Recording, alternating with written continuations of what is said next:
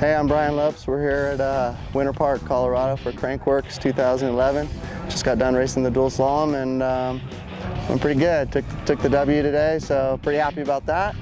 Uh, course was challenging, definitely some loose, sketchy turns at the top and some tricky little stutter rhythm section sections at the bottom that that uh, definitely kind of threw you off. You definitely had to set up for some turns to carry momentum and uh, all in all, it was it was pretty good. Uh, it was it was kind of hard to keep your flow on the course, and uh, a lot of real like sharp kind of I don't know, not so smooth kind of jumps and turns, but because of that, I think it definitely made it pretty challenging and uh, ended up being a being a good day.